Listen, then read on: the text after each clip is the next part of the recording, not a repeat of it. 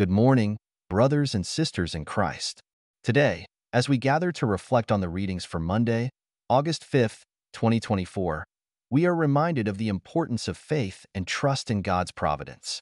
Our readings today call us to embrace a deeper relationship with God, trusting in His plans and His timing, even when we face difficulties and uncertainties. In the first reading from the book of Jeremiah, Jeremiah 28 verses 1 to 17, we encounter the prophet Jeremiah in a confrontation with the false prophet Hananiah. Hananiah falsely prophesies that the yoke of Babylon will be broken and that the exiles will return within two years. Jeremiah, however, speaks the true word of God, warning that the exile will last much longer and that the people must submit to God's will. This passage reminds us that true faith requires us to trust in God's plans, even when they are not what we want to hear. It challenges us to discern the true voice of God amidst the noise of false promises and easy solutions.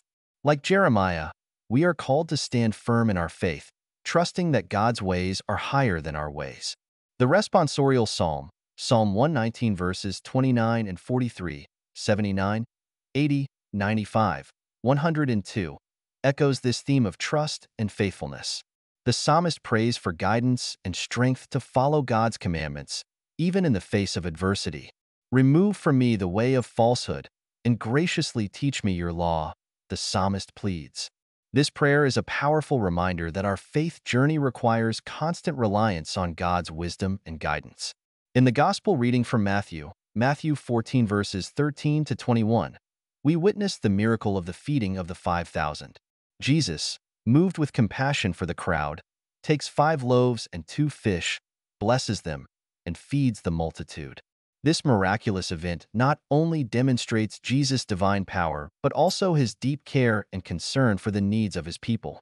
This gospel passage invites us to reflect on the abundance of God's providence.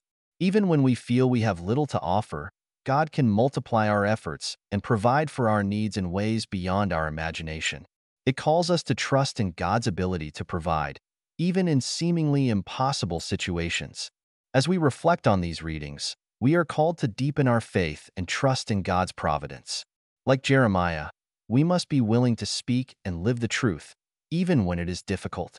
Like the psalmist, we must seek God's guidance and strength to remain faithful.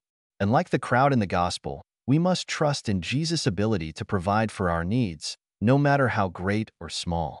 In our daily lives, we may face challenges and uncertainties that test our faith we may encounter situations where we feel inadequate or overwhelmed. In these moments, let us remember the lessons from today's readings. Let us trust in God's plans, seek His guidance, and believe in His providence. God is always with us, providing for us and guiding us, even when we cannot see the way forward. Brothers and sisters, as we go forth today, let us carry with us the message of faith and trust in God's providence. Let us be like Jeremiah, standing firm in our faith. Let us be like the psalmist, seeking God's guidance. And let us be like the crowd in the gospel, trusting in Jesus' ability to provide.